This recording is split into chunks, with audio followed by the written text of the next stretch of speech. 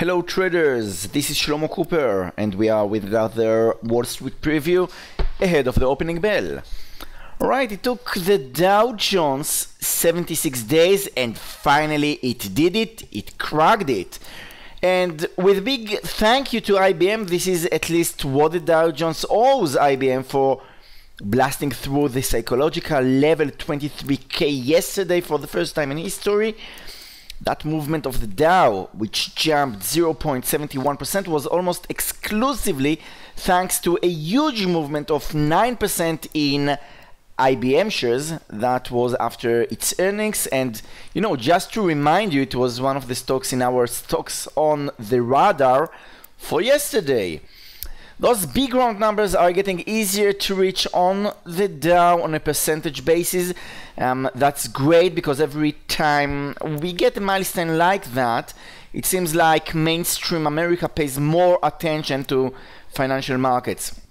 So right now we see the Dow Jones, the DIA, this is the diamond, that ETF that tracks um, the Dow Jones above $230 per unit. Um, this is the equivalent of a 23k on the Dow Jones on the big index. So which stocks were the most contribu contributors on the Dow since August 2nd? That was when the index first broke above 22k. So it was first of all Boeing, BA, which actually yesterday also had a great day.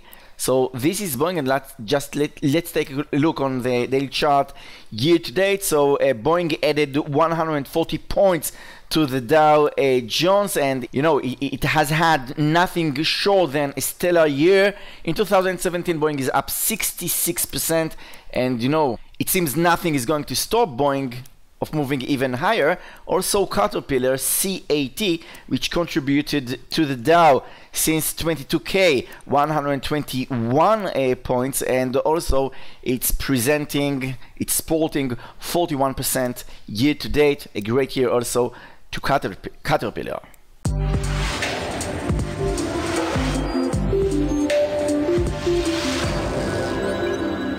Okay, we are with trade of the day, and earnings are coming out at a very good and strong pace.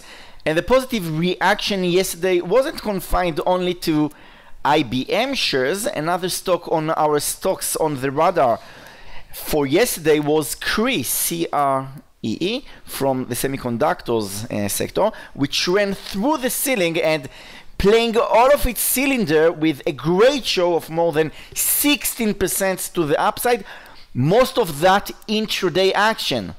So how did we trade yesterday uh, at Cree? So actually Cree was quite generous to provide us a couple of trading entries using the 10 to 15 tactics my traders are laying in the top trader uh, course, which is aimed only to traders who have already acquired basic trading skills and are targeting the professionalism of trading. On Cree, using the one minute chart, I'll just switch for, from five minute to one minute. All right, and let's scroll to the left. So after its early gap up with a boom bar, all right, uh, on the five minutes chart, we see the huge bar to the upside. We waited for the stock to consolidate a bit, its early huge run. Once it got down to the VWAP, a volume weighted average price and got the support there, we, we knew the market makers are going to bid once again, and this is exactly our entry point. I took it above 31.18 with a stop loss just below uh, 30.90. This is about uh, 30 cents stop per share. Now, we could have used the first opportunity here, and it wasn't a bad one, but you know, in reality, in this real life, I was occupied by other stocks and took uh, the second entry. Part of my traders used the boom bar here on the 5 minute uh, chart. This is the boom bar technique. We teaching our top trader course to get to gain an even early entry here after the first five minute bar um, was completed.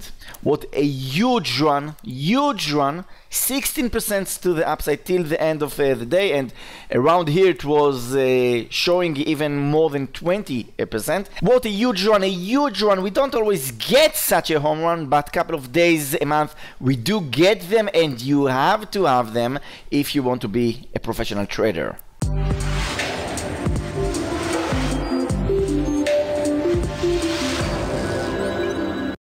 Right, hot sticks on the radar for Thursday, and after the great success yesterday, probably you can't wait watching our stocks on the radar for Thursday, and I won't keep you long.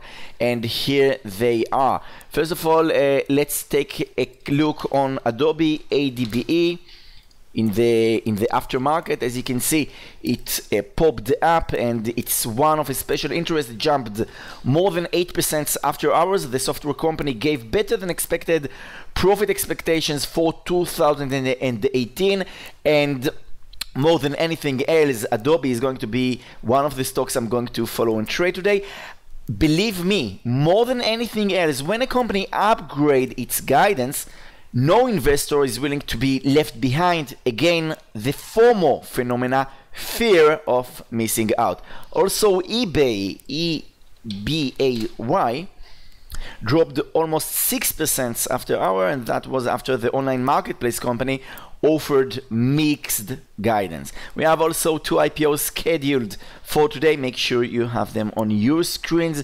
Thank you all for watching. Have a great trading day, and I'll see you in our next video. Bye bye.